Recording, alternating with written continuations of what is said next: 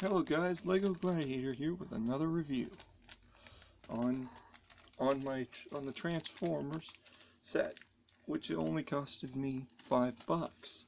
Comes with a bunch of parts and pieces. First, I'm going to spill out pieces.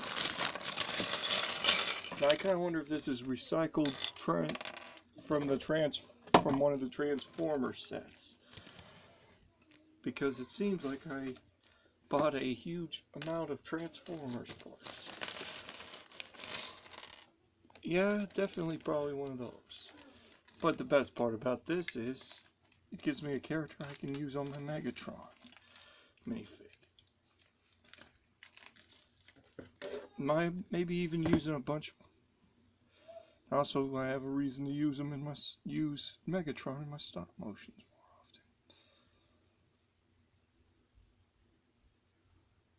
So anyways, give me a second to get them together.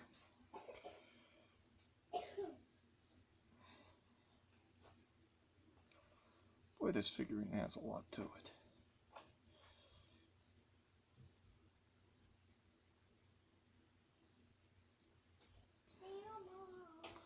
Talking about the big And here you are, Optimus Prime. I may do some custom painting on him. I might just use his head and other pieces to make my own custom Optimus Prime. Comic books inspired, as well as Megatron. But that's about it. And as well for comparison of the two size, he's a little bit, they're about the same size without their hats. Kre-O figurines are pretty good compared to all the other Mega Block, all, all the other ripoffs. I'm not going to say they're all ripoffs, but I'm just going to say these are at least a little better in design. This, I like about this set is they have a lot of parts to it. Well, that's it for today, guys. Comment and subscribe.